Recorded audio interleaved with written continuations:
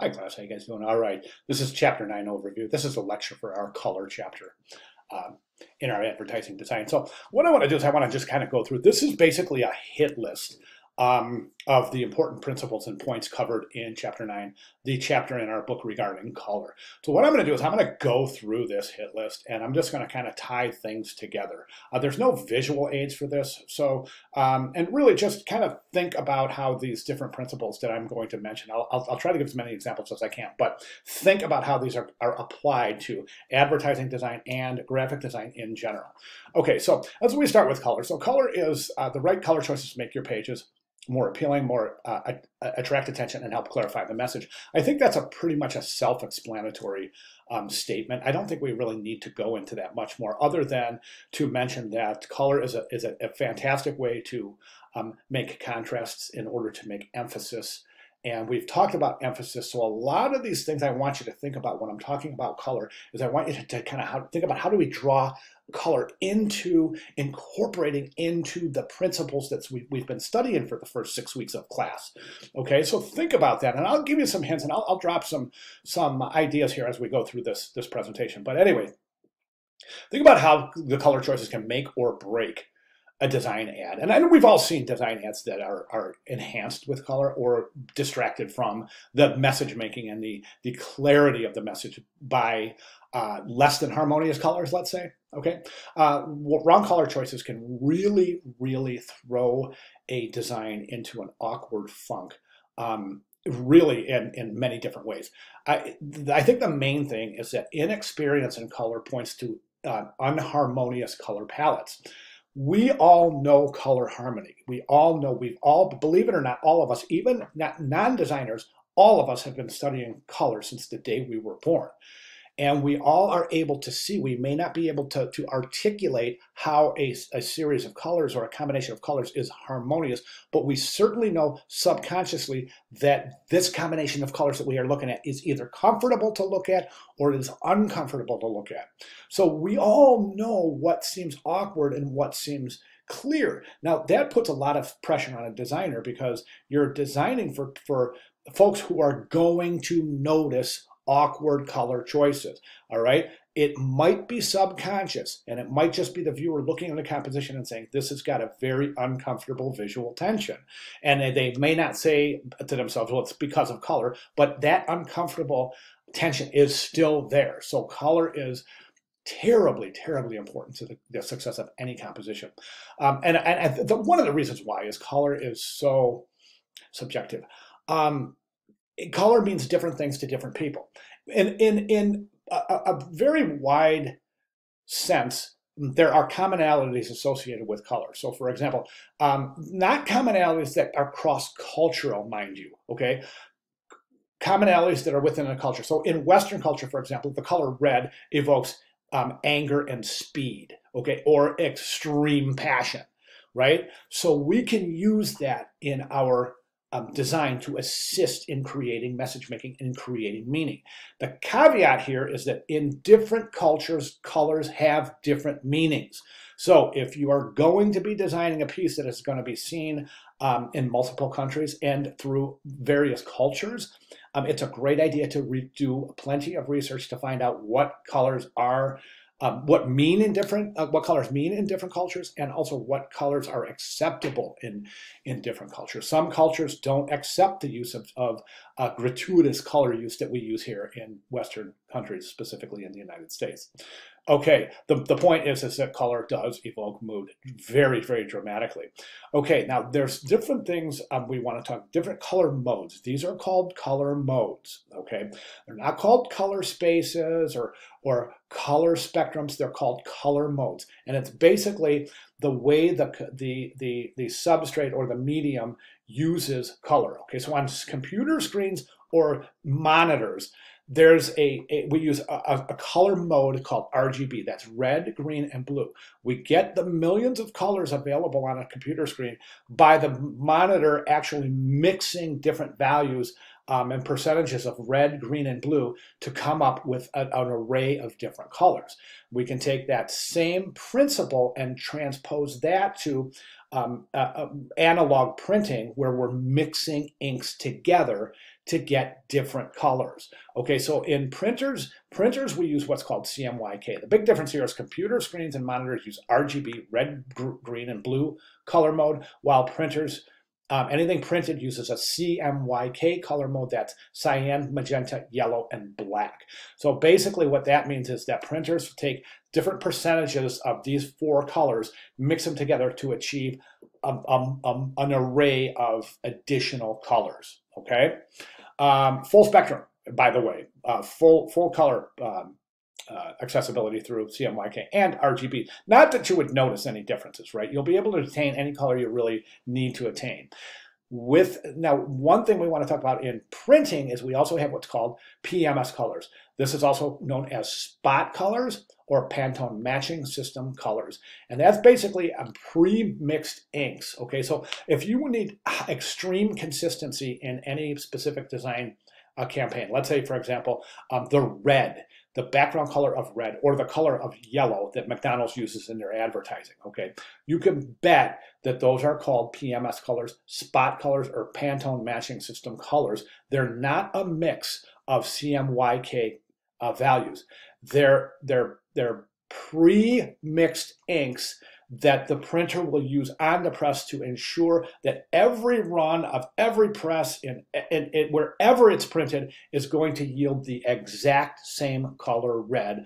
Why? Because it's pre-mixed as opposed to allowing the system to mix colors to attain um, new colors, okay? So if you need extreme consistency, and typically we see this in logos and branding, we'll use uh, Pantone matching spot colors, PMS or Pantone matching system colors. Okay, um, this I'm just going to go through this. Okay, so this is basically just kind of a, a, a, list of do's and don'ts. Okay, so let's go through these and I'll try to give you examples of each. Okay, um, use color for important text or messages. Of course, absolutely. This is, of course, called emphasis, right? Um, and as we go through these, we'll try to tie these in with the principle they're associated with. So use color for important text or messages, emphasis, right? Okay, pick appropriate colors with design topics. This could be repetition, it could be harmony. But appropriate colors with the design topic means that, okay, so if you're doing a football ad, a, a, magazine ad for the NFL, National League Football, which is an extremely violent sport, you're not going to use pastel colors that you might see for a, uh, a, a ballet production do you see what I'm saying? Okay, so pick colors appropriate to the, the design topic, all right? Direct attention by using bright color. Again, we're talking about emphasis and hierarchy here. Direct attention by using bright color. Why? We all know that now by this point in the class, we all know we are attracted to the page. As a focal point, we're attracted more to things that are brightly colored and things that are larger, okay? Use color consistently, guys. If you have a, a color orange, that you're using on a page and you have two different versions, let's say you have a, a, a, stripe at the top of the page and a stripe at the bottom of the page, and they're close but not exact, the viewer's going to know it. It's going to look like a big mistake and it's going to really shoot the designer's credibility. So make sure you're using colors consistently. Um, use a color scheme in a multi-page project. That means that if you have a brochure that's like eight pages long, you want to make sure that you that you have your color scheme down. Okay, so all of your, let's say your captions, your your text captions are all the exact same style, exact same color, and this all points to what, guys? Consistency. All right. Um, again, which leads to harmony. Okay. Um, this one here is, is, this is just an example, okay? Basically what this is saying is that you use high contrast combos for distance legibility. Now you wanna be careful, you don't, remember we talked about visual vibration? You don't wanna use too much of contrasting colors because when you look at them together, you can, they kind of see the letters are moving. That's called, it's a, a phenomenon, it's, a, it's an optical illusion called visual vibration and it's caused by extreme contrast, specifically as we see on, uh, remember op art um, as a historical reference. So op art used a lot of, of, of um, visual vibration in, in, in, color techniques. So um, just be careful. You don't want to over, um, you don't want to over contrast letter forms in color at all. Okay. But, and then you're saying use red and yellow for distance legibility. That's saying just use increased contrast if you're viewing the letters at a distance. And then if you're viewing letters close, you really want to reduce that contrast. So if you have a red and if you have a yellow background with red type on it and it's, it's a sign across the street, you're going to be able to read it just fine, right? But if it's in an ad that's right at arm's length, it's, it's going to be over contrasted and it's going to create what? Visual vibration. You got it. Okay. Uh, do not use, oh, wait. Okay. But use light colored um, images as background elements. Why? Okay. Think about it. If we use a small image that's meant as a support image in a page, we got a whole page composition. We have one little image up here, and it's really colored super brightly, more so than the other images on the page. It's going to gain a precedence in hierarchy. It's going to draw attention and it's going to compromise the, the, intended hierarchy of the page. Therefore, you want to use light colored images as background elements, okay? Um, and always, always think about color of images. If you're using images for a background of an ad, you always want to make sure that that background has ample area for which to place your text. So you don't have to place text in boxes. As we have learned, placing elements in boxes is indicative of amateur and or inexperience in design. Okay, that's why I've been telling you. that's why I've been telling you guys since week one. Don't put stuff in boxes. Okay, uh, but, but, but contrast between type and color, background for legibility. Kind of talked about that up here with this yellow, red and yellow. I use two more colors. This is a really great tip. So until like I would I would say that whenever you're designing, just use a limited color palette to just really start getting a feel for color. Um, and by all means, get out there, get your eyes out there, and look how other professional designers use color. And of course, I, I, three, four times a year, you should get on online and just say, you know, do a Google search of latest color trends in graphic design, just see what's going on. Pantone puts a, a trend, a color design, uh, design color trends uh, each year, and um, and that's also an interesting uh, uh as well. Very very interesting resource as well. Okay, I uh, just want to just bring your attention at this point over to the course announcements because uh, one of the things I want you guys to study is, is, is in the course announcements, I've got these, these, these are, there's some fantastic resources in here, guys. Here's an intro to color. Okay, this site here is fantastic too. So, so back that up. This is where this uh, video came from. Then we have my intro to color, Adobe Color take a look at that, guys. It's pretty important. And, and that's kind of an intro. And then here's a full-blown tutorial to Adobe Color. And then over here is uh, Adobe Color new features. So in this first video, I want you to specifically know that I've given you, in this video, I've given you um, a brief introduction and tutorial to Adobe Color. And also I take you into Adobe Illustrator and show you how you can find really amazing color pa palettes in Adobe Illustrator. Okay, guys, so that's what I have for color this week.